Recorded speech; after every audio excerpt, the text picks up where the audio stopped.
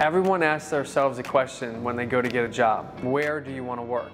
When you ask yourself that question, you have the big companies, you have medium-sized companies, you have small companies. The differences in those companies are corporate owned or family owned. And the reason a family owned business is really great to be a part of is because the decision makers are among you. You almost feel like a part of the family when you're working for a smaller family run business that you're, you're contributing and, and driving towards that common goal and, and, and message. Yeah, when I was getting ready to graduate from Penn State, the way I looked at it was I was looking not so much the corporate side to where I was just a number or, you know, I was a, a project manager number six, you know, out of 3,000 employees. I wanted to be able to, to interact and, and, know who my owners were. Believe me, at Burkentine, you're not just a number. A good reason to work for a family business is the mission and the core values are not just items written on the wall. They are things that we actually mean. A balanced life is one of our core values, and we take it very seriously. We bleed blue. Uh, we are Penn State, you know. Uh, we have you know, the owner, the, the three sons of the owner are all Penn State grads. Myself's a Penn State grad.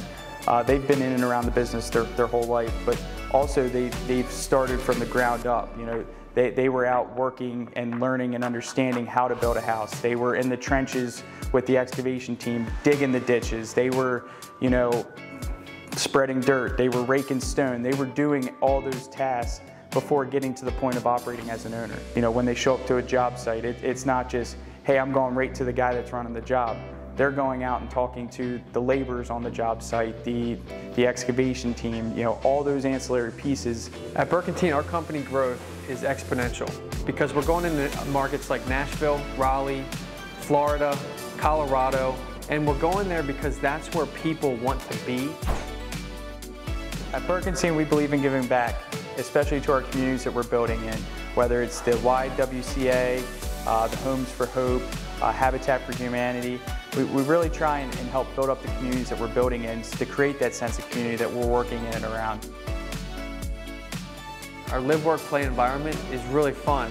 And when you come to our corporate headquarters, you can really get an inviting sense of what that's like because we have a bar with our headquarters. So you can go for lunch and you can go in the evening to have a drink to wind down. Uh, we had a tailgate for the first game of the year to where we invited employees up. We had a private tailgate uh, to where we played cornhole, had drinks, food, you name it, and then went into the game and watched the game.